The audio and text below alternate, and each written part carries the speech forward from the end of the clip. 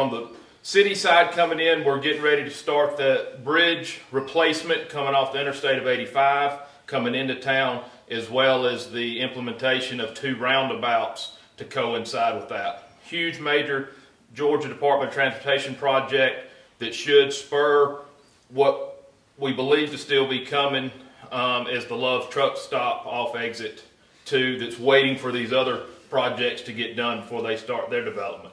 So then coming on through that, the Housing Authority of City of West Point has secured property. Um, if you're familiar with the Coca-Cola site, the property that's just past that, the block of woods, I think at one time there was a dental, dentist office on up the road behind the, the clinic there.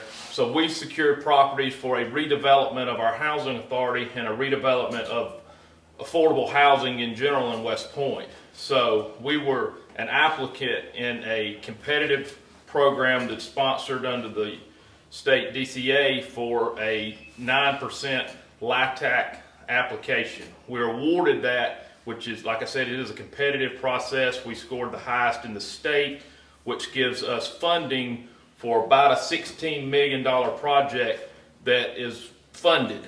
Um, and then we're in the process of uh, purchasing the property. We've got about another two weeks before we actually purchase that property.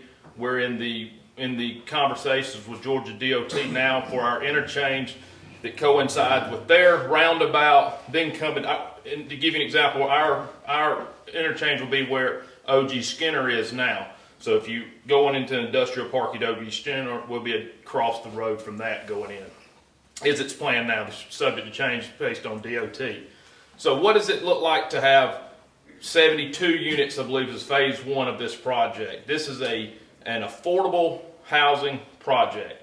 Mixed income, meaning there'll be um, rates from, from subsidized to 300 up to market rate for our area. It's a need in our community as many communities have for affordable housing. Currently, most are under the structure that we look like, which is public housing units. That's our means for um, funding for affordable housing now is through our housing authority and our agency there. Um, I think we were in the 60s when our housing authorities were built. Our brick and mortar is still in that structure. We do have one complex that may be even older than that. The model of public housing that was designed for what it was designed for in the 60s, 70s is not beneficial to the way we operate today. So one of the things about the leadership of our housing authority is we've known that. Um, a challenge that we've had is it costs money to fix that um, and to look at affordable housing outside of the term project housing that was defined under the current housing authority structure. Um, my opinion is it's a project that's not been beneficial to the residents in the long term and not been proven to be beneficial inside communities under that structure. You can look at other communities who have done these redevelopments and it's been positive in their communities it, uh, as far as changing the overall understanding of affordable housing.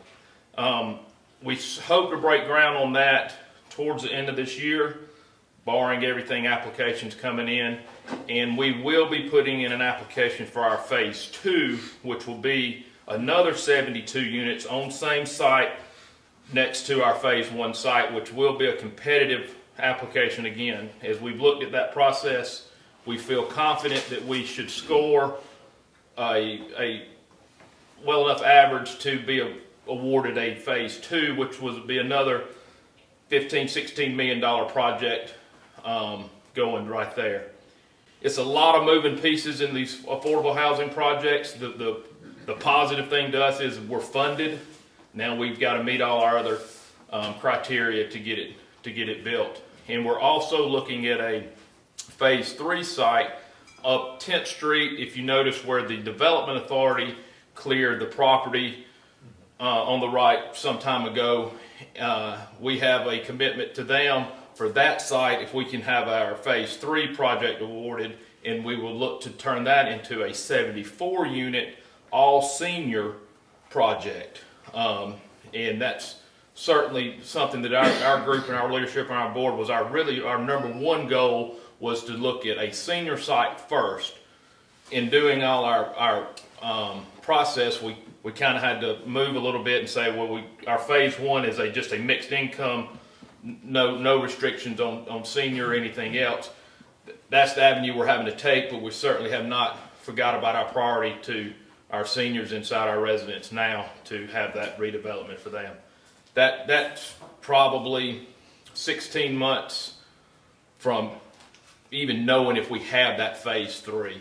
Um, probably six, seven months on knowing if we are awarded our phase two. So that will be this year information as well.